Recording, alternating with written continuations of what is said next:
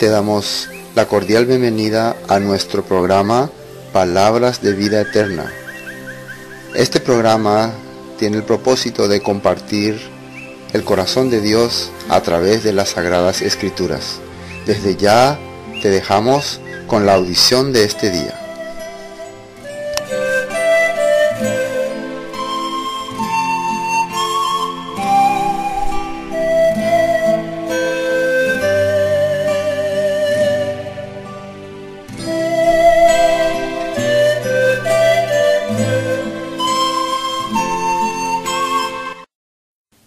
San Lucas 18.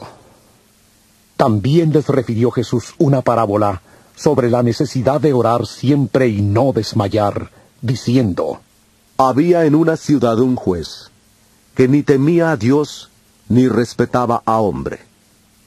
Había también en aquella ciudad una viuda, la cual venía a él diciendo, Hazme justicia de mi adversario. Él no quiso por algún tiempo, pero después de esto dijo dentro de sí, aunque ni temo a Dios, ni tengo respeto a hombre, sin embargo, porque esta viuda me es molesta, le haré justicia, no sea que viniendo de continuo me agote la paciencia.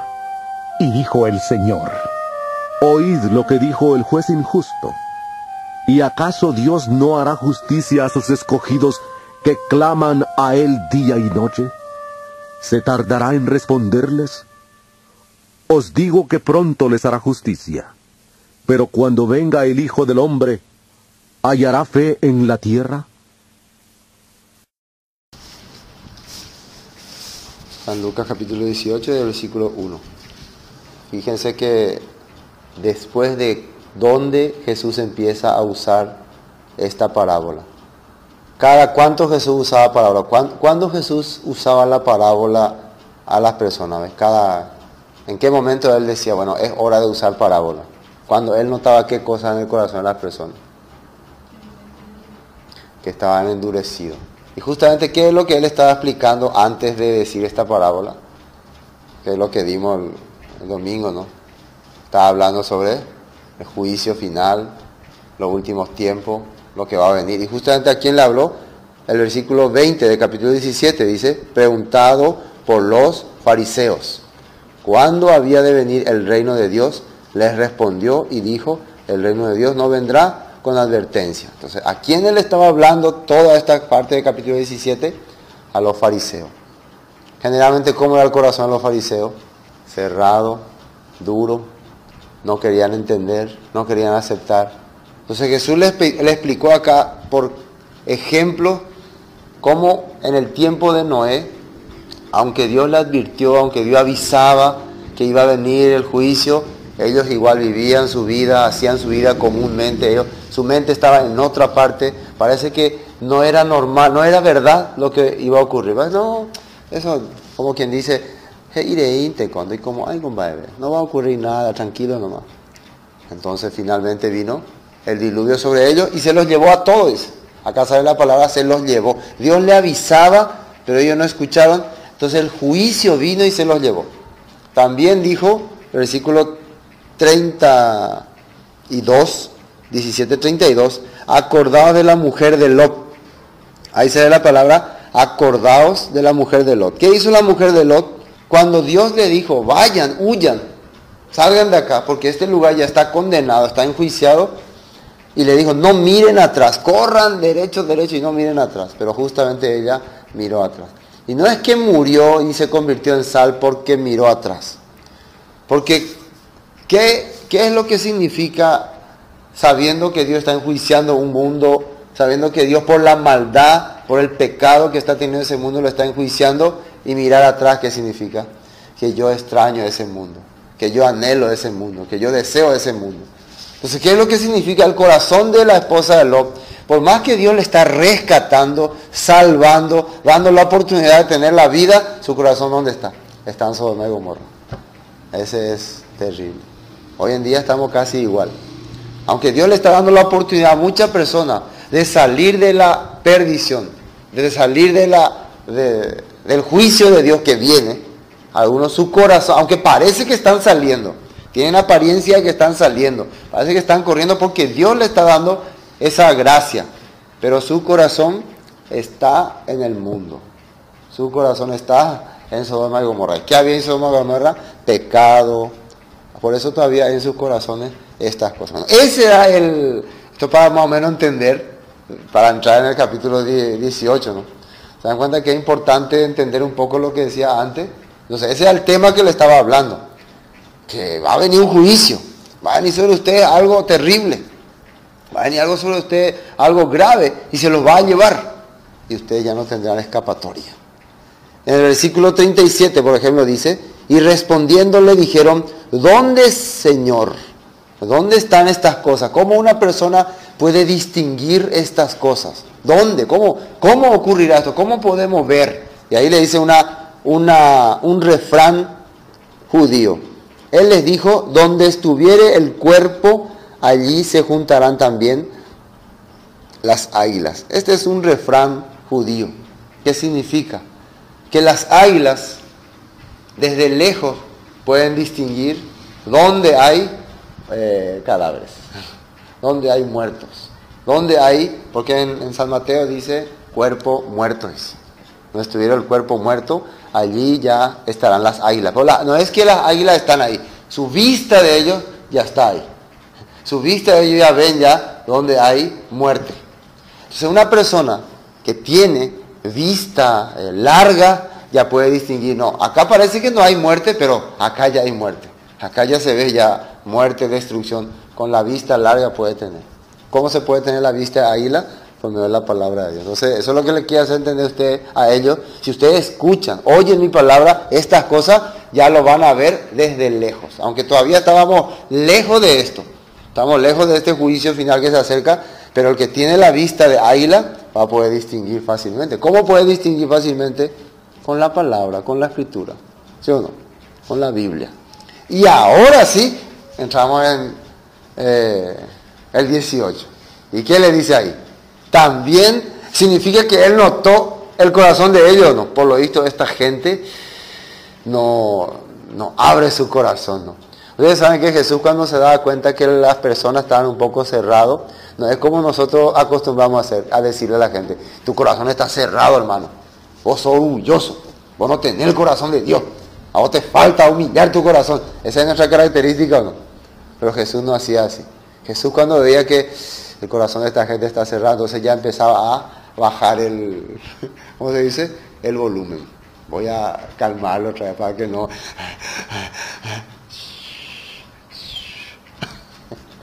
Entonces baja, baja, baja el volumen. Qué bueno sería que nosotros aprendamos eso, ¿no? muchas veces nosotros no tenemos esa característica. Por eso es importante aprender cómo Jesús enseñaba, cómo Jesús hablaba. Aunque está diciendo cosas fuertes al principio, por lo visto se está dando cuenta que no, ellos no están captando, les voy a explicar en parábola. Un ejemplo. Entonces ese ejemplo ya no le va a ofender personalmente a ellos. O sea, Jesús no va a estar ofendiéndole a ellos, simplemente le va a hacer pensar en qué posición ellos están viviendo y quién es el Dios que ellos están considerando.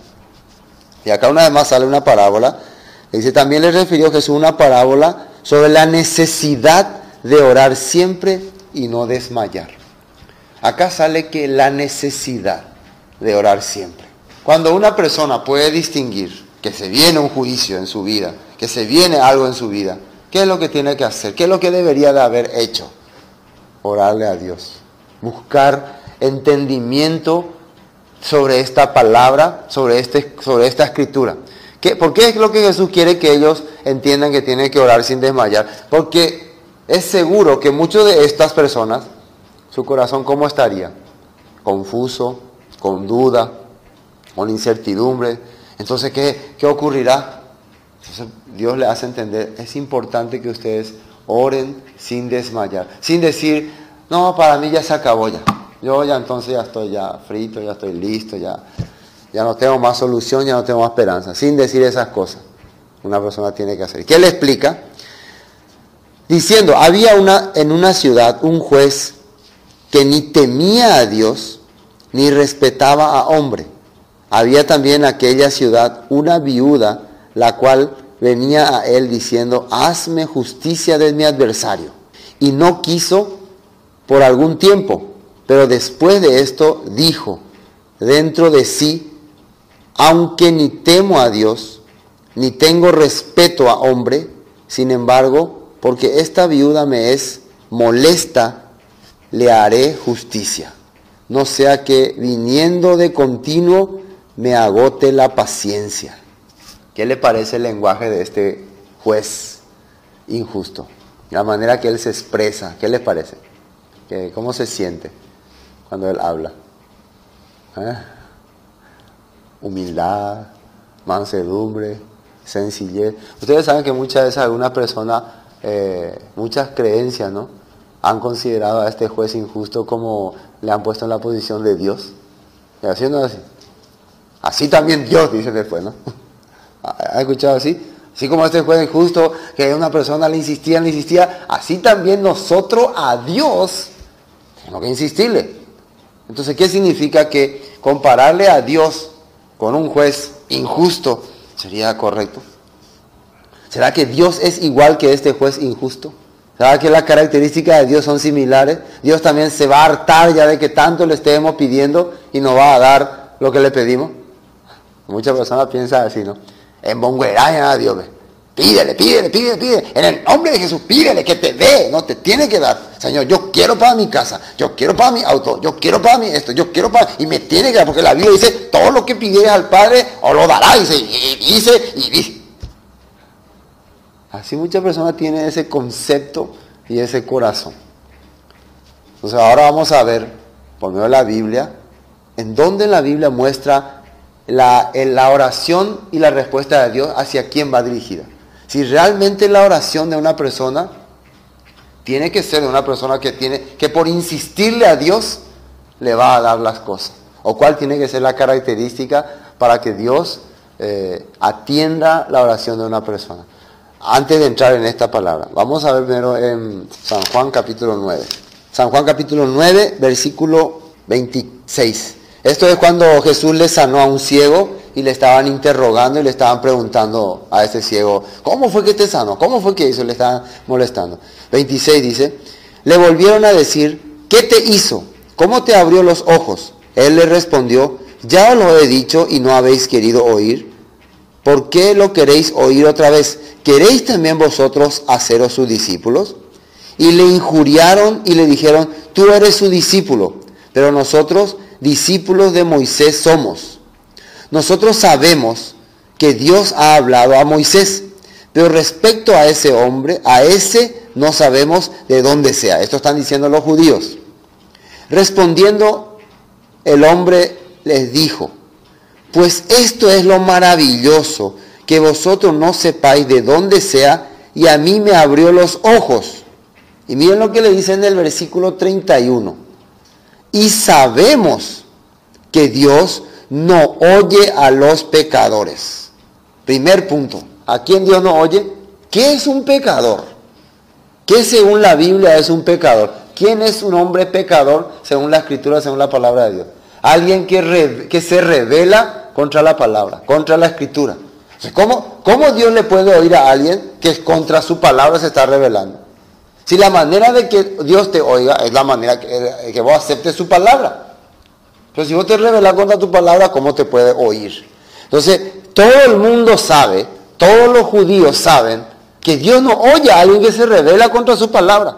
Que Él es enemigo de aquel que se revela contra su escritura. Así está escrito en Deuteronomio, Levítico, Número, Éxodo. Después, sabemos que Dios no oye a los pecadores, pero si alguno es temeroso de Dios y hace su voluntad, a ese oye. Característica que tiene que tener la persona para que Dios le escuche o oiga. ¿Cuál es? Temeroso de Dios. Y segundo, hacer su voluntad. En proverbio que sale, el hombre sabio, ¿quién es? El, principio de la sabiduría es el temor a Jehová. Sale en Proverbios 1.7. Proverbio 1.7. En Eclesiastés, eh, capítulo 12, está escrito, el fin de todo discurso es este. Teme a Dios y guarda su mandamiento. El fin de todo discurso. Ya vamos a terminar nuestra discusión, ¿no? ¿Para qué vamos a discutirnos tanto? El fin de todo discurso es este. Teme a Dios y guarda sus mandamientos. Entonces, si conociendo la escritura, conociendo proverbios, conociendo eclesiastés, por esto este hombre le está diciendo, aunque él era ciego, pero era ciego, no era sordo. Él oía la palabra, él sabía. Sabemos muy bien que la persona que teme a Dios, Dios le oye. Y esta persona acaba de darle vista a un ciego. No puede ser un pecador. No puede hacer un milagro de esa magnitud. Y ustedes se consideran discípulos de Moisés, pero no le conocen a él. Entonces hay un problema acá. ¿Quiénes son ustedes? ¿Por qué a, a ustedes Dios no les oye y a este sí le oye? ¿Por qué cuando él dice para que se abran los ojos de un ciego, se abren y ustedes no? ¿Quiénes son ustedes? ¿Se le está haciendo entender o no? Me parece que ustedes son los que no son discípulos de Moisés, verdadero. Porque sabemos que Dios no oye a los que se rebelan contra su palabra. Pero sí a la persona que hace su voluntad. Y el ciego está distinguiendo que esta persona, aunque él todavía no sabía quién era, está haciendo la voluntad de Dios. Eh, San Juan 14. San Juan 14. San Juan 14, 12. San Juan 14, 12. De cierto, de cierto os digo, el que en mí cree, las obras que yo hago, él las hará también. Y aún mayores hará porque yo voy al Padre. Y todo lo que pidiereis al Padre en mi nombre, lo haré, para que el Padre sea glorificado en el Hijo. Si algo pidiereis en mi nombre, yo lo haré. Y ahora lo importante es entender ya, miren, eh, ¿cómo es que si algo pedimos se nos va a dar? Si pedimos en el nombre de quién? En el nombre de Jesús. En, nombre, en mi nombre piden y va a suceder, se va, se va a ocurrir. Pero ¿qué es el nombre de Jesús? ¿Qué significa el nombre de Jesús? ¿Qué es lo que Dios quiere que una persona haga en el nombre de Jesús? En el libro de, vamos a ir un poquito acá, Apocalipsis, está escrito, cuando Dios reconoce a la iglesia de Filadelfia como una iglesia fiel y verdadera y que había vivido conforme a la escritura. Y le, abre las puertas del cielo y le dice que nadie las cerrará. O sea que las puertas del cielo están abiertas para la iglesia de Filadelfia. Jesucristo en San Juan está diciendo que todo lo que pida en mi nombre se le va a hacer, se le va a conceder. Sea, hay que entender por qué. Vamos a ver Apocalipsis 3. Apocalipsis capítulo 3, el versículo 8. 3, 8. Dice así. Yo conozco tus obras. Ya, primero, ¿qué dice ahí? Primera palabra, conozco tus obras. Entonces, ¿es importante las obras de una persona en su vida o no? Dice, conoce su obra. ¿Qué es obra? Como ha vivido, qué ha hecho, cómo ha andado. Dice, he aquí, he puesto delante de ti una puerta abierta, la cual nadie puede cerrar. Porque aunque tienen poca fuerza, has guardado mi palabra. ¿Se fijan ustedes que puso delante de la iglesia de Filadelfia una puerta abierta, la cual nadie puede cerrar? ¿Cuál sería esa puerta? La puerta al reino de Dios. Entonces, para los que Dios ha abierto la puerta, ¿alguien puede cerrar? Es importante entender este punto. Si Dios te ha abierto la puerta para entrar a su reino celestial, ¿alguien te la puede cerrar? No. ¿Por qué razón? No tenemos que decir, no, yo tengo la puerta abierta y punto, ya, no quiero más saber nada de nadie, ni, no me digas más nada. No, ¿por qué tengo la puerta abierta? Eso es importante entender. Acá dice, porque aunque tienes poca fuerza, ¿qué significa eso? No eres una iglesia potente, grande, con miles de miembros, con, con poder. Ah, típico lo entendí ahí en la palabra. No, mañana viene a la iglesia. Mirá, hermanos, a nuestra iglesia, lleno de miembros. Lleno, tenemos 500 iglesias por acá, tenemos radio, televisor. ¿Y ustedes qué tienen? Y nosotros tenemos poca fuerza. eso, eso es lo que tenemos, muy poca fuerza aunque tienes poca fuerza, has guardado mi palabra. ¿Qué es lo que ha hecho esa persona que tiene poca fuerza? Ha guardado la palabra de Dios. Y no has negado mi nombre. Acá dice no has negado mi nombre. Bueno, ¿cómo es que una persona no ha negado el nombre de Jesús? ¿Cómo puedo preguntarle? ¿Vos crees o vos no negás el nombre de Jesús? ¿Qué te va a decir? Si vos le decís, ¿vos negás el nombre de Jesús? No te va a decir, no, no. ¿Cómo Jesús sabe que esa persona no negó su nombre? ¿Qué dice primero? Guardó su palabra. Guardó la palabra. Nadie puede decir, no, yo guardé el nombre, eh, yo no negué el nombre de Jesús, pero su palabra, no, lo que, la carne es débil, ¿no? Ahí no va a poder decir así. Dios ha observado, esta persona, su, mi palabra tiene en su corazón. Significa, eh, guardo, eh, no negó mi nombre. No es que negar su nombre, decir, niego el nombre de Jesús. Eso no significa, nadie, nadie te va entonces, niego el nombre de Jesús. Negar el nombre de Jesús es negar su palabra, rechazar su palabra. Entonces, ahora podemos entender todo lo que pidí en mi nombre, ¿qué significa? Si tienes mi palabra guardado en tu corazón, significa que no estás negando mi nombre. Una persona que está escuchando la palabra de Dios, hace su voluntad, teme a Dios, ¿qué va a hacer Dios con él? Le escucha, le oye. ¿Dios le escucha o no? Dios le oye. Perfectamente esa persona tiene las puertas abiertas. Bueno, eh, vamos a ver Santiago capítulo 4. Un ratito más, Santiago capítulo 4. El versículo 1. Santiago 4, 1. ¿De dónde vienen las guerras y los pleitos entre vosotros? ¿No es de vuestras pasiones las cuales combaten en vuestros miembros? Muy importante esto que dice acá de dónde vienen las guerras y los pleitos entre vosotros. Guerras, eh, discusiones, peleas y todas esas cosas. Y los pleitos. No es de vuestras pasiones. ¿Qué es la palabra pasión? Fanatismo. Más que todo, deseo. Deseo fuerte hacia algo. Emoción. Eh, me atrae mucho. Así, el fanatismo excesivo. Te mueve, te, empuja aunque gane, aunque pierda. Pasión de multitud. ¿Qué significa? El pleito, el lío, el problema entre una persona viene entonces de que es muy fanático. Se puede decir así, exageradamente fanático a algo. ¿Eh?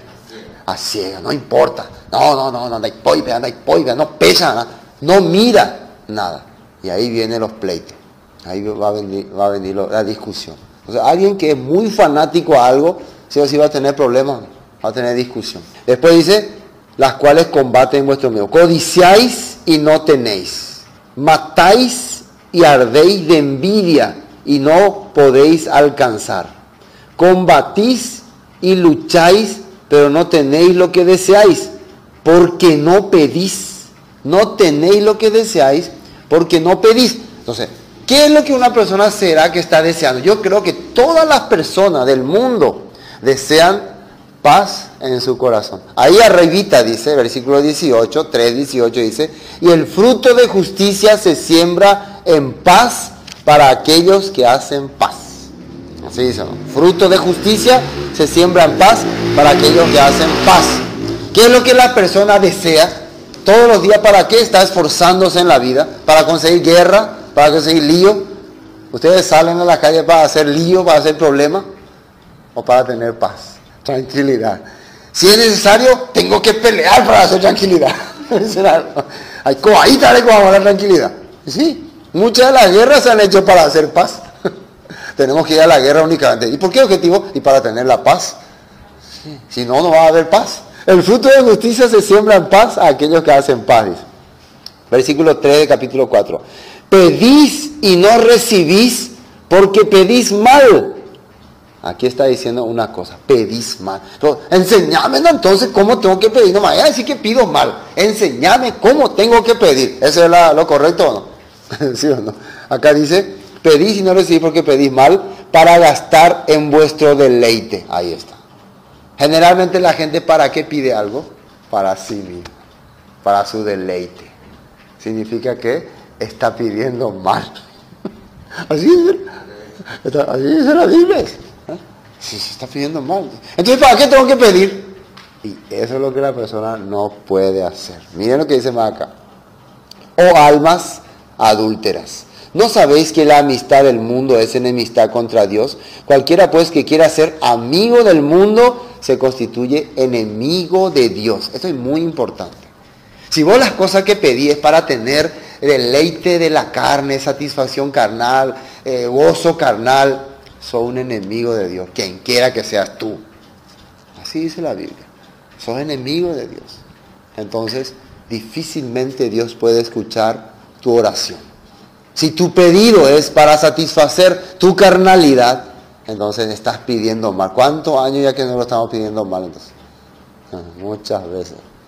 Cuando la gente quiere que se lo solucione su problema para que él se sienta satisfactoriamente, satisfactoriamente bien, está siendo amigo del mundo. Cuando la gente pide para que Dios pueda darle, para que él pueda dar, entonces Dios dice, has pedido bien. ¿Se acuerdan de lo que Salomón pidió? Salomón pidió sabiduría para poder dirigir a su pueblo. No pidió riquezas ni, ni larga vida. Pidió sabiduría, Señor, dame sabiduría para dirigir a este pueblo, para otra persona. Y Dios se contentó con su oración. Así dice la Biblia. Bueno, ahora volvamos a San Lucas para entenderle a, esta, a este juez y a esta mujer. Entonces, Versículo 4 dice 18.4, San Lucas 18.4. Y él no quiso por algún tiempo, pero después de esto dijo dentro de sí, aunque ni temo a Dios, ni tengo respeto a hombre, sin embargo, porque esta viuda me es molesta, le haré justicia, no sea que viniendo de continuo me agote la paciencia. ¿Por qué le hizo la justicia este juez injusto a esta mujer? ¿Él teme a Dios? No. ¿Él es justo? No. Pero si me agota la paciencia, si me, me, molesta, le, le, causa, para que no le cause molestia, le va a hacer justicia. O sea que el deseo de este juez es que esta mujer no se acerque más a él. ¿no? no venga más a Él. Ese es su deseo. ¿Será que el deseo de Dios es igual? Dios no quiere más que uno. No. Entonces, este juez injusto no es, es nuestro Dios. Ni tampoco Dios quiere que nosotros le pidamos, le pidamos para que ya, y Él nos va a dar para que no le molestemos más. Por ejemplo, Dios es al revés. Dios quiere que continuamente vengamos a Él. Por lo tanto, si le estamos pidiendo algo, deseosamente, algo para nuestra carne, no, si yo le doy algo para su carne, ¿qué va a pasar? no va a ni más. Entonces Dios hace al revés, ¿no? No le voy a dar, no le voy a dar. Entonces continuamente va a venir a mí. A mí me gusta que venga hacia mí, que se acerque hacia mí. Hay un hijo, había dos hijos, se cuenta una historia, que siempre se acercaban a su padre. Entonces un hijo solamente se acercaba para pedir dinero. No tenía otro interés en su papá. No le importaba su vida, no le importaba nada.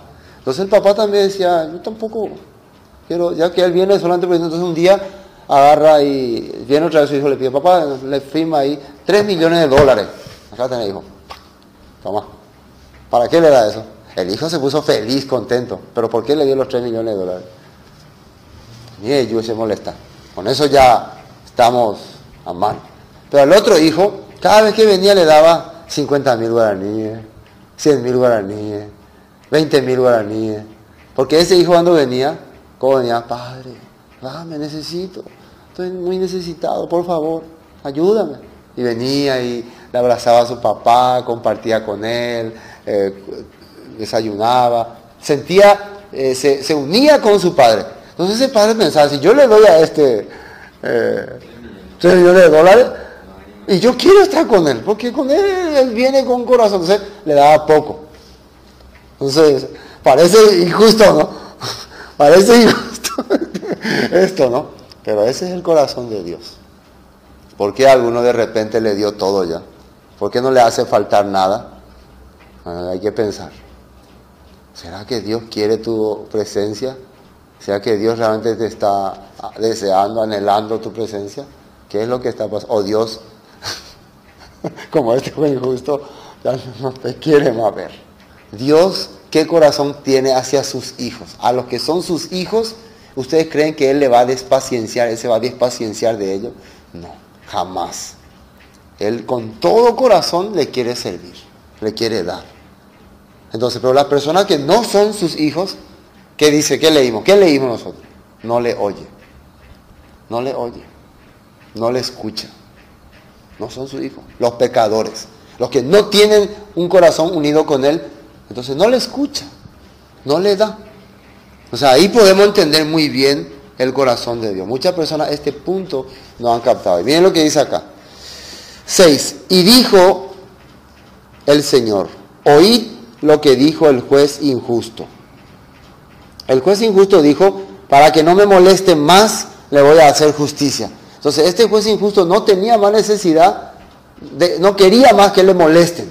Versículo 7, ¿acaso Dios no hará justicia a sus escogidos que claman a Él día y noche? ¿Se tardará en responderle? O sea, ¿será que Dios es igual que este juez injusto? La pregunta es, Dios, por ejemplo, a su hijo que está viviendo conforme a su voluntad, que está viviendo eh, guardando su palabra, que está viviendo temiéndole a Él, Dios también como este juez injusto va a tardar en responderle. Va a perder tiempo, no. No, le va a dar. Dios se va a despacienciar. Ah, ya me tiene cansado este, le voy a dar. No, Dios no va a hacer así. Entonces, ¿qué concepto es lo que, qué, qué, qué concepto es lo que muchas personas le tienen a Dios? Que a Dios hay que despacienciarle para que te haga su voluntad. Entonces, esa persona, ese no es su Dios. Ese no es un Dios entonces. ¿Entiendes? Si por si acaso te llega a dar, tienes que tener miedo. si por si acaso, de tanto que le insististe, Señor, quiero para mi casa, quiero ganar la lotería, quiero ser rico, quiero vivir bien, quiero gozar de la vida, y te llega a dar, entonces ya tienes que saber ya quién te dio. Te dio alguien injusto, alguien que no teme a Dios. ¿Quién es esa persona? ¿Eh? Príncipe de la potestad del aire. O sea, ¿quién lo que muchas personas están pidiendo para su deleite? Al príncipe de la potestad del aire. Dios no va a hacerle retardar a alguien que pide realmente con todo el corazón, no le va a hacer despacienciar, no va a hacer eso. Por eso es muy importante entender este punto. Dios ama a su Hijo y cuando le pide, le va a dar. Jesucristo dijo, todo lo que pidieres en mi nombre, se lo hará, dice, se va a hacer. El problema es que las personas para qué piden? Para su deleite, para su carnalidad. Ese es el problema. Eso es muy importante que entienda una persona. ¿En, ¿En, qué contexto Jesús estaba explicando esto? Cuando precisamente estaba anunciando el juicio que se viene hacia las personas. ¿Por qué muchas personas tienen miedo del juicio, eh, el castigo? ¿no? ¿Por qué tienen miedo? Nosotros cuando compartimos con una persona, a una persona dice, no, los cristianos no van a pasar la gran tribulación. Los cristianos van a, eh, antes de la gran tribulación, van a irse todo en el cielo a vivir felices con Dios. ¿Por qué muchas personas tienen miedo de la gran tribulación? Porque saben que no están viviendo conforme a la palabra de Dios y que no van a pasar, que no van a aguantar todo eso que se dice que va a ocurrir. Por eso tienen miedo. Por eso el Hijo de Dios ¿Por qué tiene que ser su oración? Señor, por favor, que no me pase nada. Señor, no, Señor, que yo viva hasta el final no negando tu nombre, no negando tu palabra, guardando tu palabra hasta el final. Señor, yo así quiero vivir. ¿Qué es pedir bien? Señor, dame la palabra en mi corazón hasta el último día de mi vida, hasta el final. Que tu palabra sea lo que more en mi corazón. Eso es pedir bien y Dios te va a dar. Dios le va a dar. O caso va, no, no, no te voy a dar. Va a esperar para darte eso. Una persona a entender ese punto va a darse cuenta del amor de Dios, del corazón de Dios. Os digo que pronto les hará justicia, pero cuando venga el Hijo del Hombre, hallará fe en la tierra. Ahí está el problema. El problema es, para Dios no hay problema hacer justicia en nuestra vida. El problema es cuando Él estamos en el contexto de que segunda llegada, cuando venga la segunda llegada, encontrará personas que viven conforme a la palabra, que no niegan su nombre. Se queda eso en pregunta, ¿ves que se queda acá en pregunta? En pregunta y en parábola. Yo no le estoy ofendiendo a ustedes, yo estoy contando una parábola nomás. Entonces ellos tienen que pensar, ¿ustedes están creyendo en la palabra? ¿Han oído la escritura? ¿Han pensado muy bien su posición delante de Dios? Cuando Él venga, cuando el Hijo del Hombre venga por segunda vez, encontrará hombres que están viviendo como Elías, hombres que están viviendo como Moisés, como Eliseo, encontrará? Queda ahí la pregunta. ¿Será que encontrará? Fijémonos en este tiempo. ¿Será que hay la persona que hay una persona que se quejaba, dice en una canción, Señor, ¿por qué hay tanta guerra, hay tanta muerte? ¿Por qué permite tanta hambre? ¿Por qué permite tantas cosas? En esa canción dice, bueno, en este tiempo hay hombres como Elías, hay hombres como Moisés, hay hombres como Daniel, hay, ¿dónde están? Muéstramelos. ¿Dónde están esos hombres? Pues encontrará Dios fe en la tierra. Eso dice la Biblia.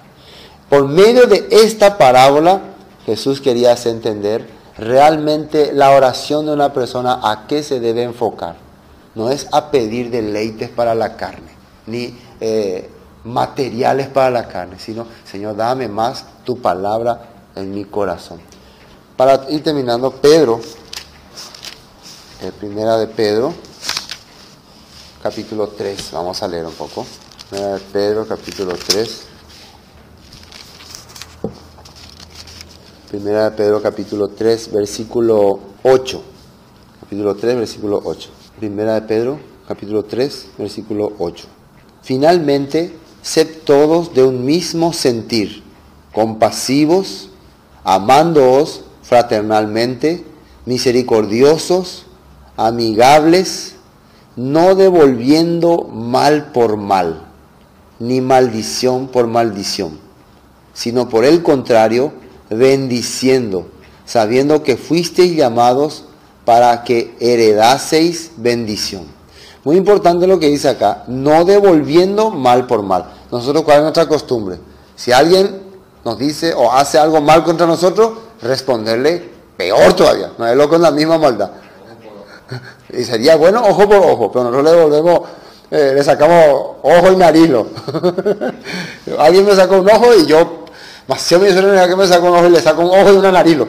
O le saco los dos ojos, para que aprenda y el otro quiere reaccionar más y me saca la dos orejas, me saca el cuello. Y así nos despedazamos uno otro.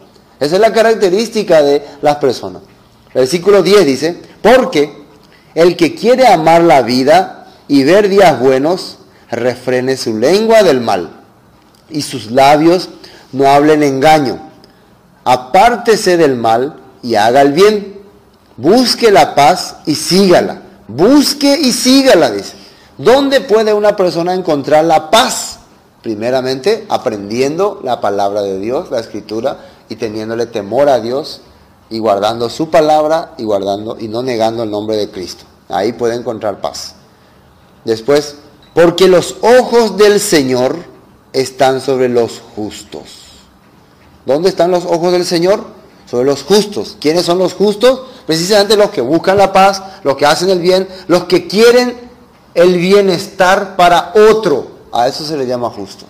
Los que quieren justicia para los demás. Ese es justo. No puede ser justo una persona que dice así, yo soy justo y no me importa lo que hagan ustedes. No me interesa su opinión. Yo soy justo y punto. Ese no es justo. Ese es un falso justo. Existe falso justo. Justo es la persona que piensa en otro. Por eso todas las personas que en la Biblia fueron justos era personas que pensaban en otras personas. A eso se le llamaba justo. Después, ¿y qué dice? Porque los ojos del Señor están sobre los justos y sus oídos atentos a sus oraciones. Ya, el oído de Dios atento a la oración de quién está? Del justo. ¿Quién es el justo? El que vive y cree y hace lo que dice la palabra de Dios. Y el que vive y cree y hace la palabra de Dios, ¿qué sería lo que pediría a Dios para su vida? ¿Qué va a pedir? Señor, dame más sabiduría, como rey Salomón. Dame entendimiento, dame conocimiento de Dios para servir a esta gente. Y Dios está atento, dice. alerta, alerta, una persona pidiendo pedido oficial. Dios estaba atento. ¿Se acuerdan de la oración de Daniel? Daniel, ¿por quién oraba? ¿Hacia quién oraba? ¿Por qué causa estaba orando? A Daniel le faltaba algo en el imperio de Babilonia. Él tenía alguna necesidad ahí. No, él como rico, era gobernador, pero él oraba por su pueblo. Él sufría por su pueblo. Él estaba triste por la vida de su pueblo. Y cuando ora, inmediatamente su oración es escuchada por Dios. Y le dice Dios que eres un amado de Dios. Y le revela misterios sorprendentes. Ese es pedir bien. Eso es pedir con sabiduría. Pues hay sus oídos atentos a sus oraciones. Pero el rostro del Señor están contra aquellos que hacen el mal. Las personas que hacen el mal son los que se rebelan contra la escritura, contra la palabra. Por lo tanto, alguien que se revela contra la escritura, ¿cuál va a ser su característica? Va a tener odio, rencor, envidia, codicia, eh, malhumorado, eh, va a tener ganas de matar, va a tener, va a querer, va a querer que otro quede mal ante otras personas. Esa es una de las características del que hace el mal. Hacer como eh, tirar veneno en el, en el ambiente. ¿Qué es hacer el mal? Contrario del bien. ¿Y qué es el bien? Hacer paz. Entonces cuando vos haces el mal, ¿qué hace? Guerra, codicia, envidia, todo lo que estaba saliendo en Santiago. Entonces, ¿Dios te puede oír así? Imposible. No te puede oír. Aunque diga 100%, me oye y punto, no me importa. Pero no oye, no oye. Vamos a terminarle esta parte. Eh, y a 13. Y, ¿Y quién es aquel que os podrá hacer daño si vosotros seguís el bien? Mas también si alguna cosa padecéis por causa de la justicia, bienaventurados sois. Por tanto, no os amedrentéis por temor de ellos, ni os conturbéis. Si por causa de hacer la palabra de Dios y de decir la palabra de Dios tenés que pasar dificultad y sufrimiento, no te preocupes. Soy un hombre bienaventurado. La palabra bienaventurado significa rico o dichoso o feliz.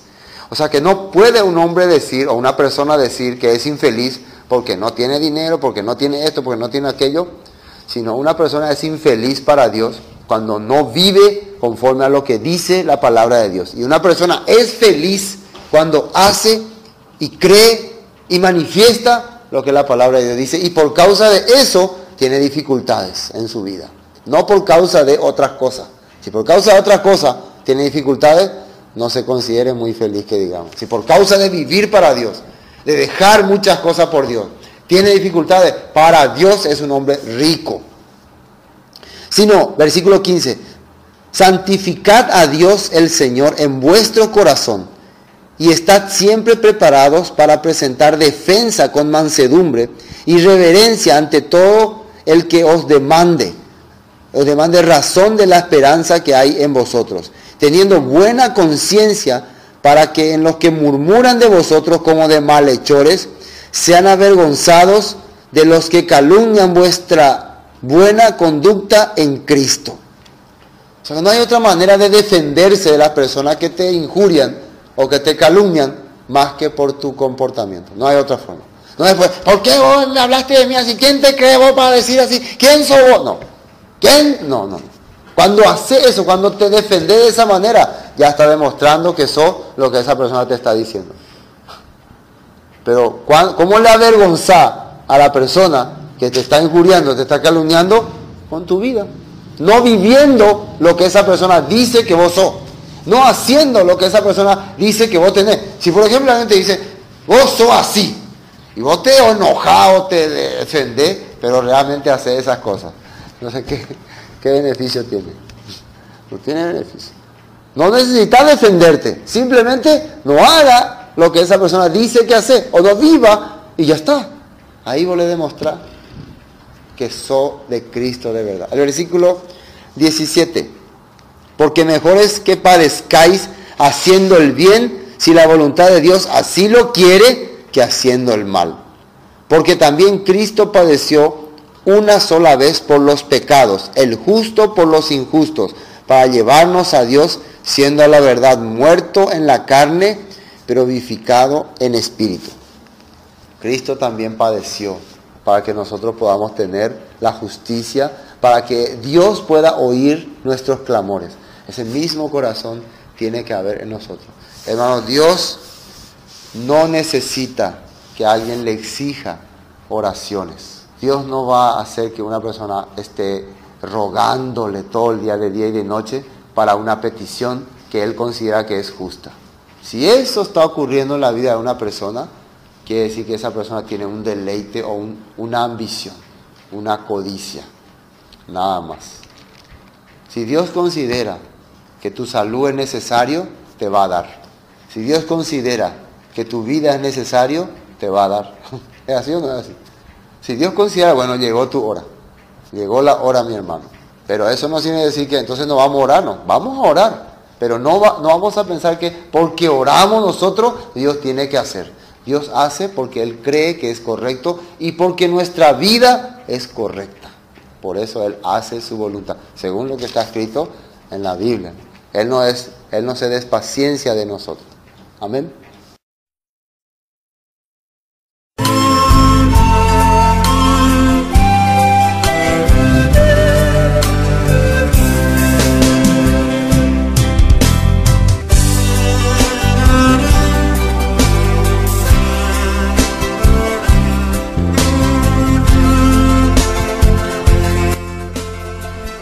Esto fue Palabras de Vida Eterna. Cualquier consulta que tengan sobre el tema que hemos tratado hoy, nos envían sus mensajes al 0981 60 46 77 y estaremos respondiéndoles con mucho gusto. Bendiciones y hasta pronto.